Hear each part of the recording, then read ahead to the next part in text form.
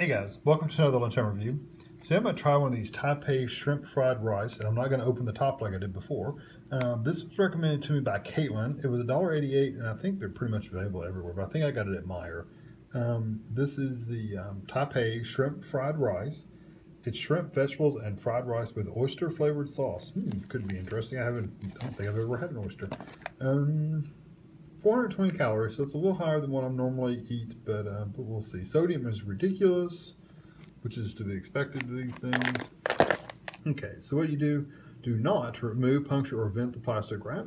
Uh, microwave wrap container on high for four minutes. Let it sit for three minutes, and then wrap it, unwrap it, and enjoy. So I can't really show anything beyond the picture right now. So I'm gonna get this in the microwave for four minutes, and I'll be back. Okay, here it is. It's been sitting for um, two, three minutes, and um, just open it up. It does say stir well, the meat is on the bottom. So there's the little corns, the mini corns. And the shrimp is on the bottom. There's a piece of shrimp. Not bad. It's a little like a little popcorn shrimp. So I'm gonna get this stirred up really good. It, it doesn't smell too fishy, but um, it smells a little fishy. So I'm going to uh, stir this up really good and uh, probably let it cool off a bit. I'll be back. Okay, I think it's cooled off enough. We'll see when I take a bite might burn my mouth off. But here we go. I got a piece of shrimp, rice, and a piece of corn. Um, I had carrots on here, but it fell off. Who knows? Anyway, here we go.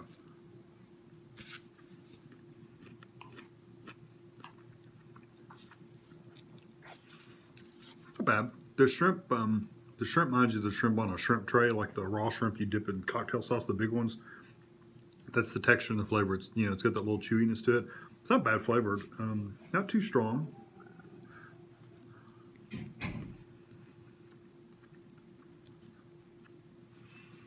The flavor's okay. It's very oily feeling. I can feel like um like oil in my mouth. Um, it's good. I don't know the oyster sauce. I don't know. Maybe maybe it adds a difference. I don't know. Um, not bad. Not the best one I've ever had, but not bad at all.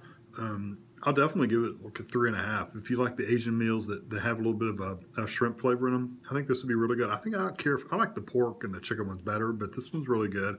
Um, so yeah, I'm gonna give it a three and a half. So I hope you enjoyed this video and thanks for watching.